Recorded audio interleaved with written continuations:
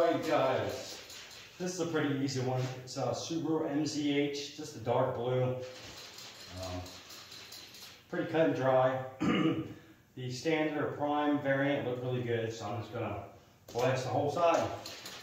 That would be that.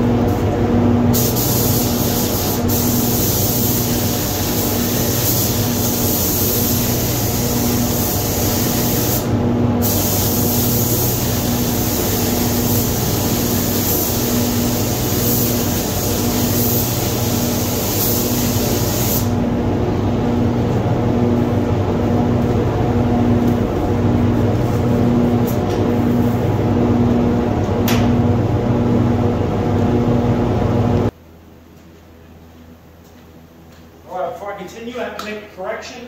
I said MCH. I don't know, I must be spoken correct. it's M2Y. Subaru M2Y. Sorry, man. It's been a long weekend.